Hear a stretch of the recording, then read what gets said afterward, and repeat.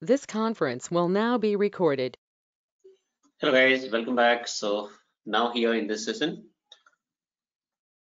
we are going to configure account payable. In previous session, theoretically, I explained about, I've given some explanations about this account payable and all. Now here we'll uh, do the configurations. So if you talk about account payable guys, let's suppose, so what I said here, uh, say for example, since we have set up two GL account right now. So see for example, Tata Motor has taken its uh, whatever the corporate uh, building is there on rent. So every month we are going to receive a rent invoice from vendor. So in that case, let's suppose vendor name is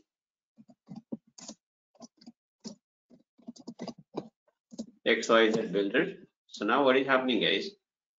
So we are receiving rent invoice every month. So your rent account account is going to be debited with certain amount and this builder XYZ builder that is vendor account is going to be credited. This is what the entry which is supposed to be posted in SAP, right? Now this rent account is a GL account. It is also called GL master so this GL account already we have created, right? Apart from this, if any additional GL creations creation is required, say for example, even Tata Motor is taking uh, audit services also from a particular audit company. So that audit company is also supposed to be created as a vendor. First of all, that audit company is going to be treated as a vendor. And this audit fee GL is also going to be debited and that audit form is going to be credited. So if you have to set up audit fee GL, then pretty simple guys, we can use FS double zero transaction code. Okay, and then we can set up this GL account. But do we need to do any configurations before creation of GL master? So I'll tell you guys, no, it is not needed because whatever configurations are required, let's suppose chart of account, account group, number ranges, number ranges is going to be given against account group itself. So whichever configurations are required is already done. We have already done with the configuration part, right? So configuration every time it is not going to happen. It is one one time setup that we, we have already done. Now, if you have to create 100 GL, you can create 100 GL, 200 GL. There is no issues. Now, now likewise, so here GL account is getting debited. GL account is already created, or else if needed, we can create further more GL accounts also what about this vendor account guys? So this is also this is also a master data. This is also a master data. So here vendor account means what guys? Vendor account means here this is also supposed to be set up into SAP so before setting up a vendor account we need to do certain configurations. What are those configurations guys? That step by step I'm going to explain. So this is vendor master. So before setting up vendor master, we have to do certain configurations. And what are those configurations? Let's have a look here one by one. So first of all, okay, this is already explained. First of all, we have to define vendor account group. We have to define vendor account group. Now, what is the use of this account group, guys? I'll tell you if you are able to remember during creation of GL master also we have set up account group. So account group means what guys? Group of similar nature of master data. In case of GL master, group of similar nature of GL master. In case of vendor, group of similar nature of vendor accounts, right? And the major important thing is it controls the fields which appears during creation of master data. In the sense at the time of vendor master creation, whichever fields are appearing, that is going to be controlled by vendor master sorry vendor account. At the time at the time of creation of gl master whatever fields are appearing that is going to be controlled by gl account. Group and the same thing is applicable even in case of customers also. That is going to be covered during account receivable. Okay? Right now we'll talk about account payable. So here first of all we have to set up account group. What does it control guys so account group controls the fields of vendor master. I'll show you guys. Let me log in first and then I'll show you how it is going to control.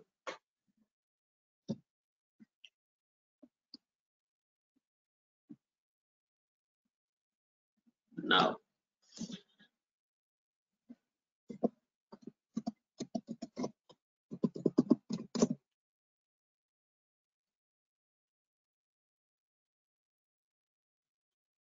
set up one account group here. So how to set up account group guys?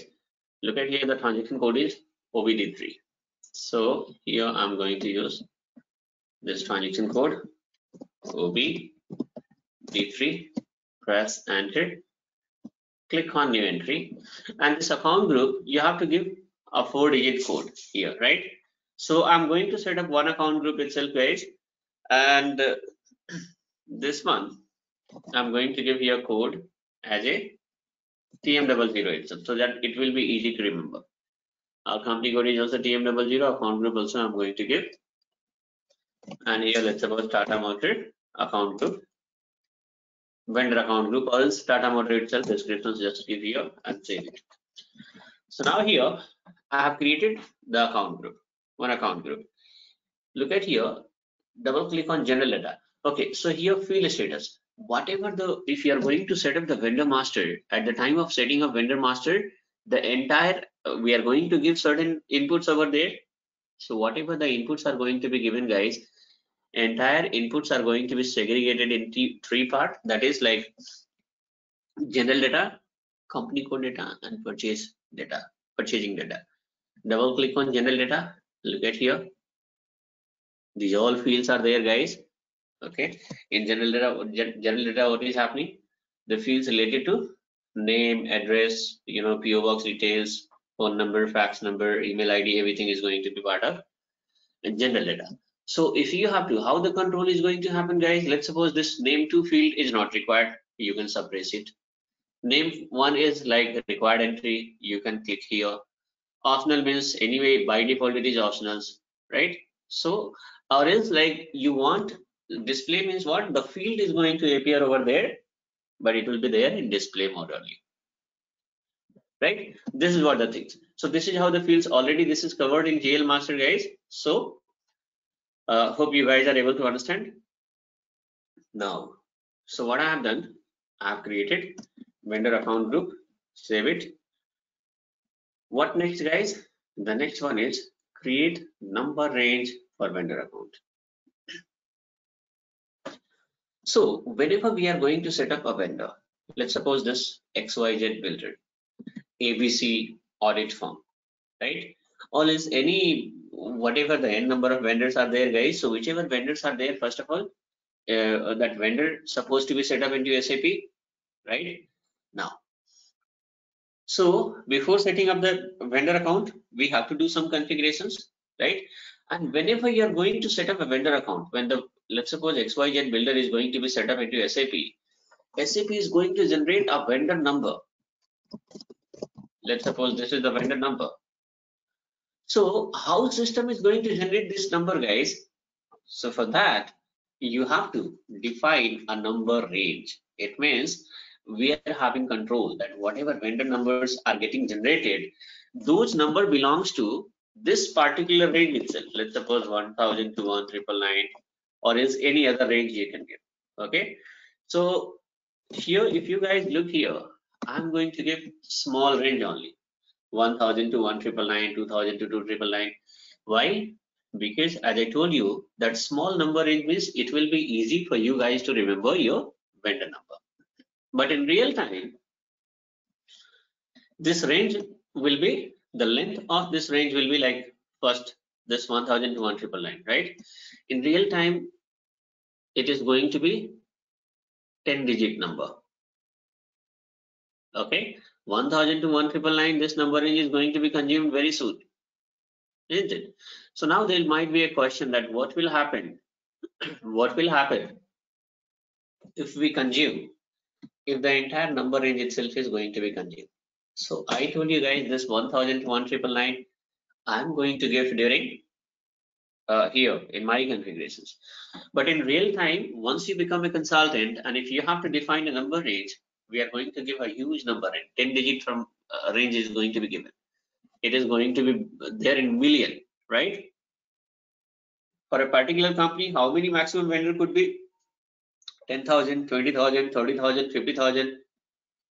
These were the number of vendors, even if it is a very huge organizations, right? And that too, they're having if the multiple uh, businesses in different different countries are there, right? In that case also, how many vendors will be there, right? So the number range which we have given that is there in millions. So it is impossible to consume the entire number range during the even like 100 years or so. Such kind of range is going to be given. 10 digit means huge range. So here for your practice, I suggest you have to give 1000 to 1999. Okay. If provided if it is not defined by anyone, if it is already defined by anyone, if uh, somebody has already given this number range, then better to use this number range itself or else you have to define a different range. I'll show you. So here, let's suppose you click on back button. Okay. Now, how to define number range xk n1. Click on interval. Now look at here guys, how many number range has been defined by people already? these many number range are already defined by people. Several. If I'm going to give 1000 to 1999, let's suppose code 1, 2, 3, 4, 5, 6, 7, 8, 9, 10, 11, 12, 13, 14, 15, 16. All is given, right? I'm going to give alphanumeric. Like here, I'll give A1. Numeric code they have given, I'm going to give alphanumeric okay so any code can be given guys numeric alphanumeric alphabetic whatever it is and your from number is 1002 1999 and press enter if you press enter look at here at bottom system is showing enter interval without overlap it means whatever number range i have created if you come down okay this is a1 here so whatever number range i have created 1000 to 1999 it is overlapping somewhere now where it is overlapping guys, so of course look at here, somewhere it will be, somewhere somebody has already defined this number range. So you have to find out guys, somewhere it is going to overlap. So 2000 to 2999 somebody has defined here, right? Likewise, even 1000 to 1999 is also is defined already. This is why look at here. No, this is our only, right? somewhere anyway it's going to take look at here like p1 somebody has defined this 1000 to 1999 is already defined by somebody so that is why what is happening guys it is going to be system is saying that this is overlapping see overlapping doesn't mean that entire range itself is going to match even if the single digit if the single number is also going to class with other number range then also you are going to get the error and I want to define this number range. Whereas somebody has already given 1 to 1000. Somebody has already given this number range. And I'm going to define 1000 to 1999. It means the first number 1000 is having, it is classing here with this one. It is like, it is uh, here in this range also 1000 is there and this range also 1000 is there. So again, system is not going to allow you to set up number range saying that your number lap your number range is overlapping. Why? Because why? Because this 1000 is already given here. So how come it possible that you are also going to be started from 1000 itself right? So you have to start from 1001 in this case system is going to allow so even if one number is also going to be part of a different number range in that case also you are going to get such kind of message that inter interval without overlap so in that case, what is happening guys? In that case, system will never allow you to save your, if I'm trying to save it, look at here. look at here, system is not allowing. Enter interval without overlap. So what will happen guys? If you are able to define your number range, it's okay. Or else need not to spend too much time that okay, let me find uh, a unique number. It's, it's going to take time. Instead of you know spending time on this number range because there is no much logic in number range right? Simply you use existing number range. Let's suppose somebody has defined already p1 why not to use p1 itself right? So i'm going to use number range p1 itself. Now what i have done account group.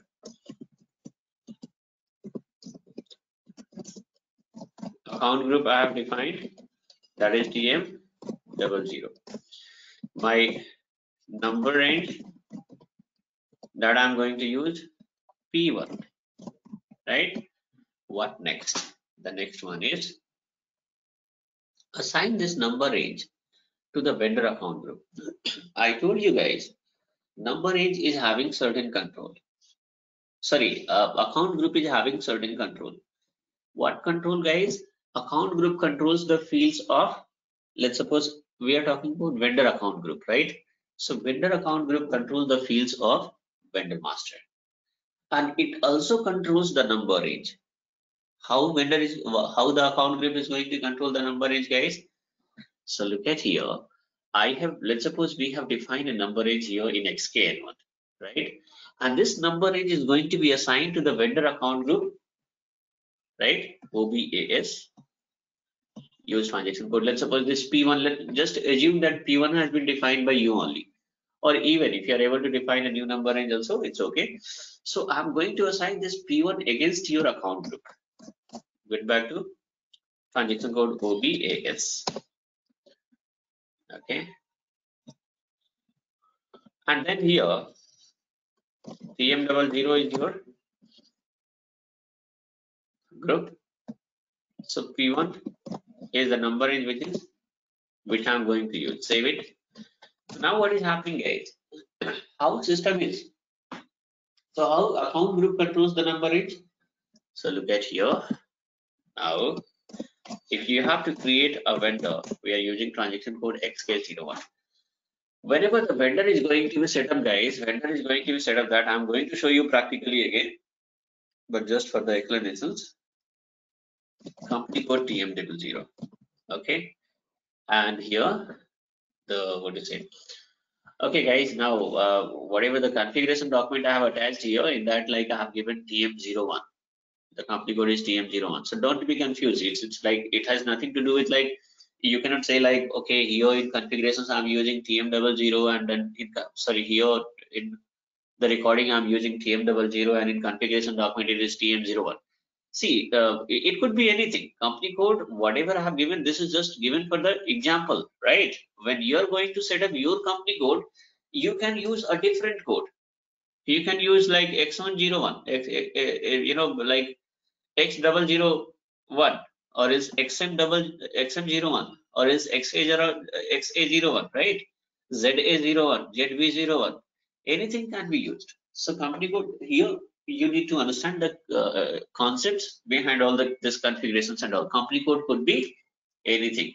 I'm using tata motor that is why tm00 or tm01 or tm02 or tm05 it could be anything okay so now here while creation of vendor first of all we are going to give the company code. It means this vendor is going to be set up against which company code guys?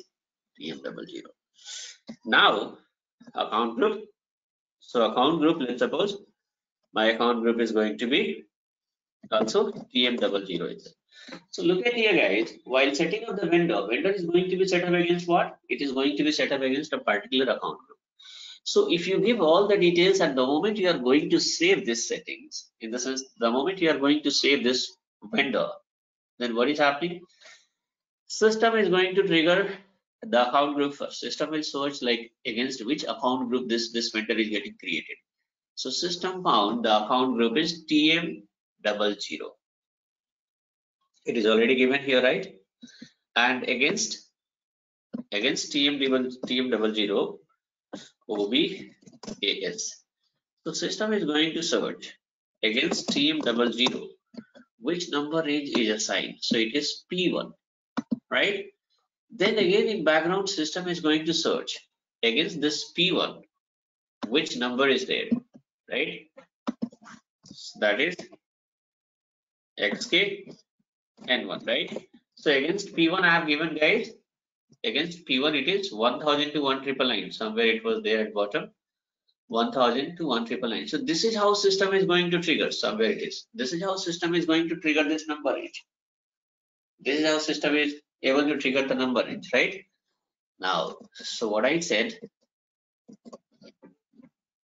account account group controls the fields of vendor master. At the same time, it controls the number range also. Because number range, whichever we have created, is going to be assigned against account group itself, right? And vendor master is going to be set up against account group. So first of all, system is going to trigger the account group with the help of account group. System is going to trigger the number range code, and against that number range, from that range, system is going to generate the vendor number. This is what the logic. Now look at here, define tolerance group for vendors. This is also guys, this is also a setting here, tolerance group we have to define for customer vendor as well. Previously what we have done, previously we have defined a tolerance group for users and GL. The same logic is there uh, to define this tolerance group for customer vendor also. Let's suppose I have posted, I have posted an invoice invoice what up 1000 one and vendor payment is going to be released. So we have made payment in round figure. Let's suppose 1000 itself. So there is a difference of 1 rupees right? So now here you know that every debit must be having equal credit right? Every debit must be having equal credit. Then only it is then only it is going to. So now here what will happen guys? Now so okay so here there is a difference of one rupee. So here what is happening guys? If the differences are there then system will not allow you to proceed further. So we are going to define a tolerance tolerance limit a tolerance group for customer vendor also. Okay? There we are going to define like we are going to specify a particular amount that okay how much differences till how much differences can be accepted. Either 5 10 20 100 200 so this is going to be you need to explain the concepts. Your client is going to tell you okay till 20 rupees is going to be accepted. Or till 20 whatever your currency is there till 20 usd or 20 rupees or 20 euro whatever the currency is there they'll say that in till 20 or 30 or 50 or 100 this much differences are going to be tolerable. So this is what the logic behind defining the tolerance group. So i'll just do one thing how to define tolerance group guys? Look at here oba3 is the transaction code. So here define this. I'll just do one thing guys.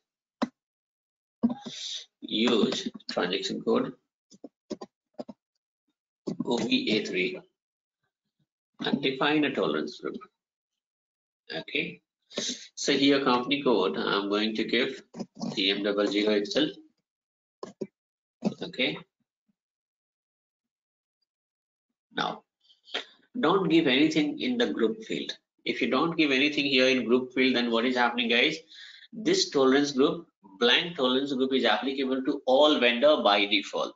Okay, if you are going to give a code, then at the time of defining this vendor master, you have to assign this tolerance group to the vendor master, then only it is going to work out.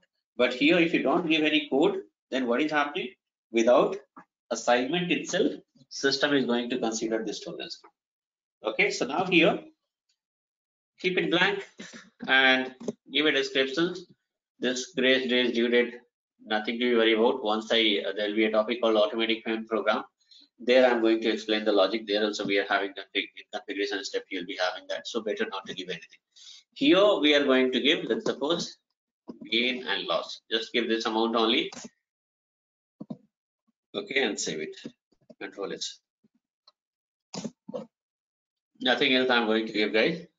Apart from this whatever this fixed payment terms is there that is not explained yet. Payment terms i have not explained yet so don't worry. Now so here i'll just do one thing. This gain and loss means what? Say for example in case if the invoice is 1001 we have made payment of 1000 itself. There is a difference of one.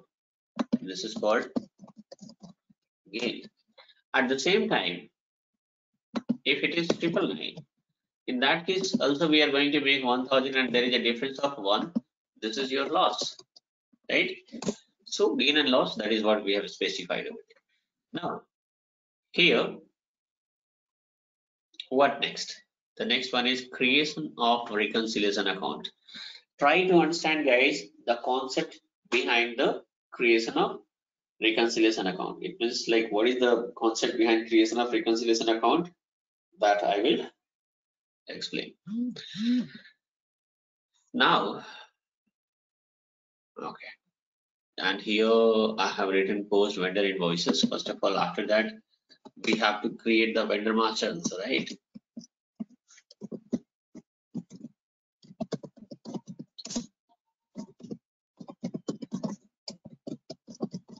Create vendor master that is xk01 save it. Now so here creation of reconciliation account. What is the use of this reconciliation account guys? Why are we going to set up this reconciliation account? That i'll explain. Try to understand the logic guys. Because most other people they know how to set up the reconciliation account because this is reconciliation account is nothing but a GL account itself. How to set up the GL account? It's quite easy. What is the logic behind creation of this reconcil uh, this this GL account, guys? Why do we set up this GL account? That I'll tell you. Say for example, we are having. I'll just remove these things. So we are having multiple vendor. Okay. Uh, multiple vendor like a, B, C, D, E, F. These all are the vendor. Okay, these all are the vendor. Against every vendor, certain invoice is posted. All these invoices are due only. Okay, all the invoices are due. Now, let's have a look. So guys, we'll do one thing.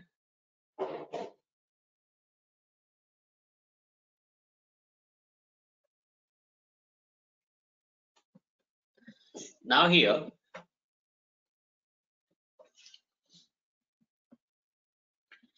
so this is our vendors.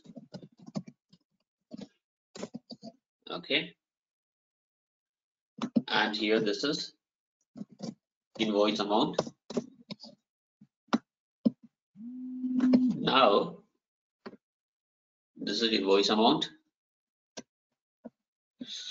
And then, so if you talk about this 5,000, this amount is not paid yet to the vendor. In the sense like whichever these amounts are there, this is the payment is not made yet. We have just posted the invoices. We have just posted the invoices, right? So these all are our payable. This 5000 is payable against this vendor, right? Likewise, 4000 F, Z, and H. So these all are the vendor. So now here, for individually, if you talk about the individual vendor, like what is the payable of E, like 2500, which we have to make payment, right? This is our liability. This is a payable if you have to calculate the total payable okay if you have to calculate the total payable what is happening guys? Simply we are going to 3600 sorry 36000 is the total payable amount right? 36000 that is the total payable amount. So what will happen guys? Now we do one thing Okay. So here 36,000 how I have calculated guys? Manually I have calculated since we are in Excel sheet. I'm using Excel sheet. But in SAP if you have to calculate then you have to check the vendor balance of like the balance of this vendor then the balance of this vendor then the balance of this vendor. So manually if you are going to calculate guys how much time it is going to take? Because if let's suppose if any organizations they'll be having thousands of vendors will be there. So every every time like if one by one you are going to check the vendor balances and then if you are going to get the consolidated figure then how come it possible? If you are going to publish the financial statement financial statement we are not going to show in financial statement like you have to show the liability. So liability means like let's suppose if you are going to count like what is the liability means like your whatever loans are there right that is your liability. Likewise and multiple other things also will be there but likewise here whatever the account payables are there this is also our liability. We must have to make payment of 36000 rupees or or whatever your currency is there in that currency in future to the vendor. So this is our payable this is our liability. So how to calculate this total liability guys? So individually it is not possible. Individually it is not possible to calculate so now SAP has given a very simple concept here that create a real account that is called reconciliation GL. Okay, create a real account here. Okay, and what to do? Let's suppose a single GL I'm going to create the GL code I've given 2000. This is this GL I have created for account payable. This GL is going to be at the time of creation of vendor A, creation of vendor A, you give this GL account. Likewise, against every vendor, I'm going to use this reconciliation GL is going to be linked. It is going to be linked. So here, if you posted, let's suppose invoice worth of 5,000 rupees against this vendor, then the, this amount is going to be updated against this GL account also. Likewise, this amount is going to be updated against this vendor at the same time, this GL account.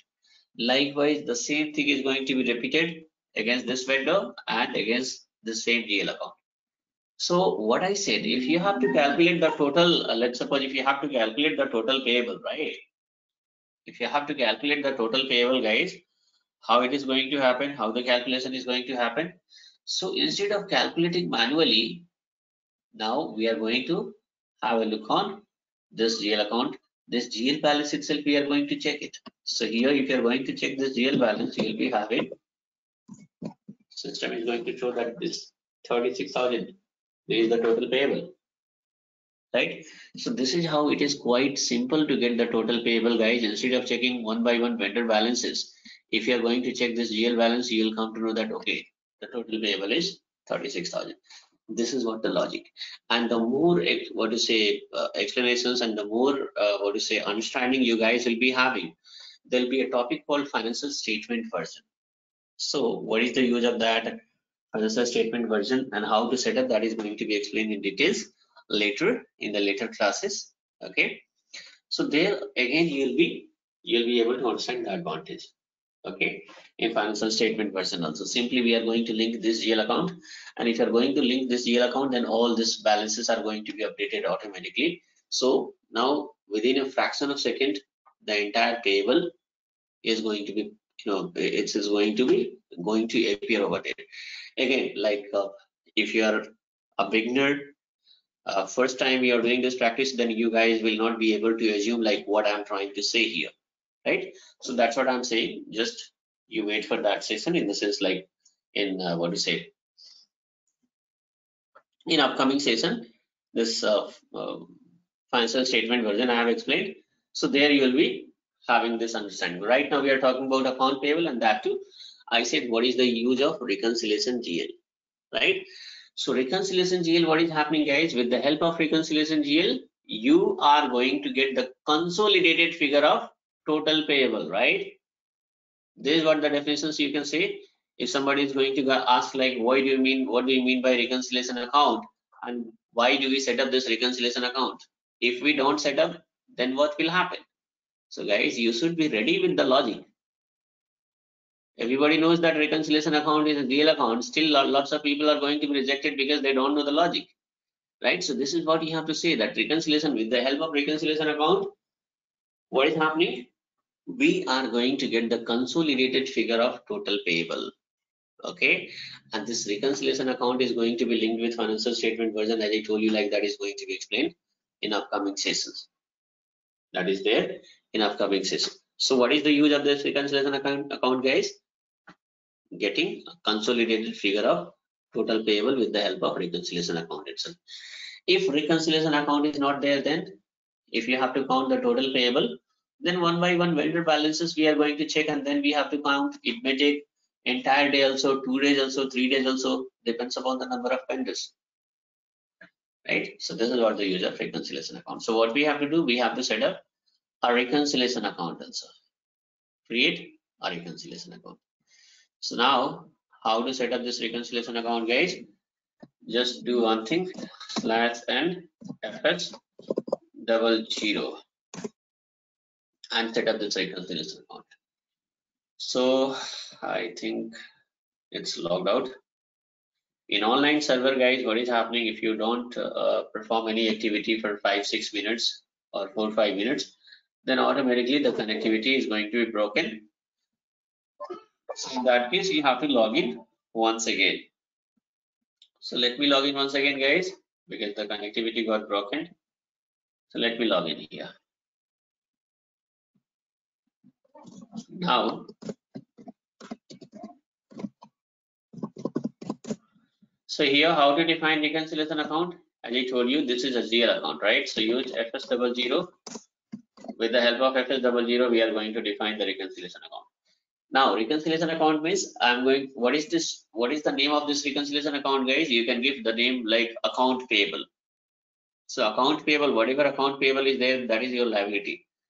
So we, under which account group it is going to be set up guys? We have already created an account group called liability account group. If you are able to remember the number range against liability account group, then you can use the first number. And if you are not able to remember, in that case, I'll suggest you to use OBD4 transaction code so that you guys will come to know. Okay, if you're going to use OBD4, then here you will come to know look at here. Tcoa is your chart of account. So look at here. Under this chart of account multiple account group we have set up. In that itself here we are having liability account group also. Right?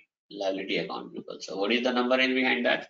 Eh, against this liability account group it is 2000 to 2999 so now here what is happening guys? Set up a GL account click on create and give the first number 2000 select the account group that is liability itself it is a part of balance sheet right? And here account payable i'm going to give.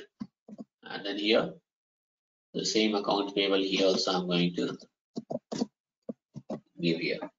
Under control data click on control data.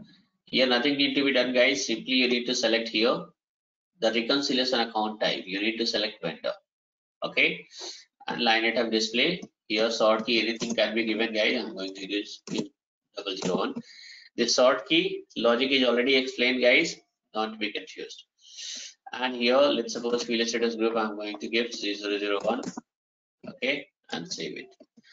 I made a mistake guys. Here field status group for reconciliation account always G067 is given by sap you have to use that one. Okay. Now this is what the reconciliation account you have to give. So what is happening here? this reconciliation account I have created. Okay. Reconciliation account I have created. Now, what to do, guys? Then what next?